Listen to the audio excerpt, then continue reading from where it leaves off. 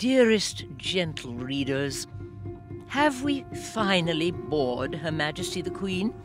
Or is she lying in wait with something up her ruffled sleeve? Shall we play a game? I show my hand in exchange for yours. Your move, Your Majesty. Oh, gossip monger. That is your first misstep.